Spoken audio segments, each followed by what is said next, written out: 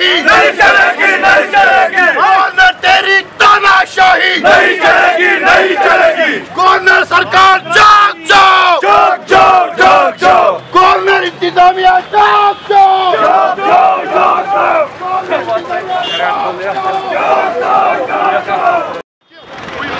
In the welfare of the state. लेकिन welfare of the state will not take place under this policy. सरकार जाग जाओ जाग जाओ जाग जाओ रेत वालों को अपना हक दो। हक दो हक दो। टिप्पर वालों को अपना हक दो। हक दो हक दो। कान खानी को अपना हक दो। कोविड पिछले दो सालों से एक भी नेशनल प्रोजेक्ट या मेगा प्रोजेक्ट के तहत इनका राइट इनसे नहीं छीना जा सकता था।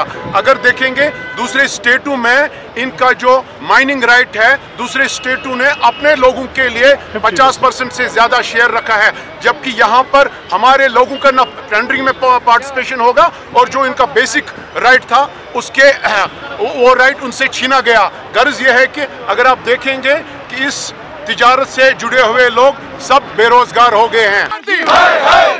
गुंडागर्दी पॉलिसी हम जब मानते हैं कि वो एंटी पीपल पॉलिसी है और इस इंस्टीट्यूशन से, इस सनत से जुड़े हुए तिजारतकार लोग जो भी हैं, उनके खिलाफ ये पॉलिसी है। पहले तो उन्होंने एक ऑक्शन किया।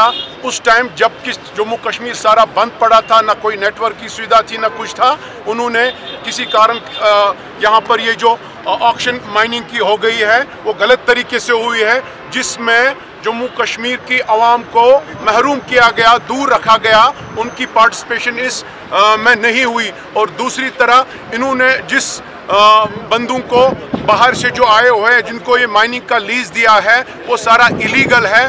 और आज जो भी एक्सट्रैक्शन हो रही है इलीगल हो रही है, एक माफिया बन गया है, उनके थ्रू बजरिए, वो यहाँ के लोगों को उसका हफ़्ता और उसका मुआवजा ले रहे हैं। और जो भी आजकल स्काई रॉकेटिंग प्राइसेस हो गई है, ये उसी का एक असर है।